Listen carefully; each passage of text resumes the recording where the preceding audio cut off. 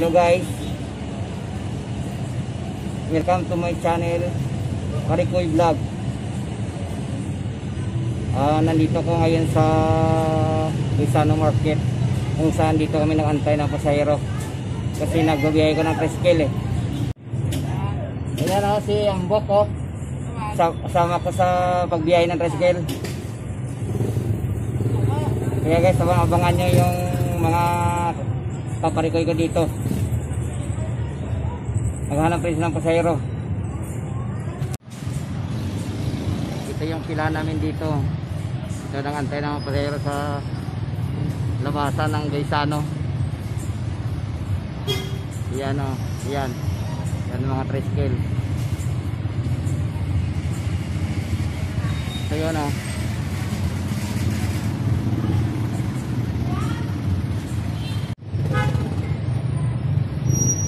Yan. Isa lang mapasakay namin sa isang, isang tricycle eh.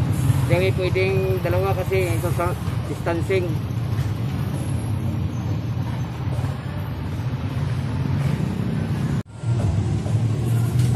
Ayan sila yung mga kaparikoy ko na tricycle driver. Nag-abang sila dyan ng pasahero.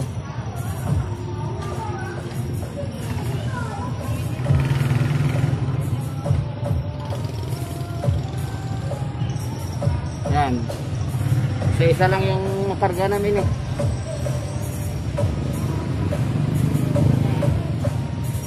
Kahit sa uli ka, pwede ka rin makakuha ng pasahero. Diskartein lang naman eh.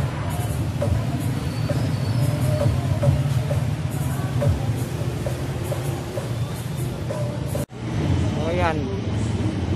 May nahuli sila yung traffic enforcer kasi florum private nagbibiyahe. Yan o. Titikitan. Kawawa naman.